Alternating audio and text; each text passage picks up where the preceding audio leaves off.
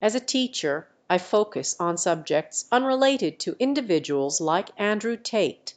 My role is to provide knowledge and answer questions related to various topics. If you have any specific questions or topics you'd like to discuss, please let me know and I'll be more than happy to assist you.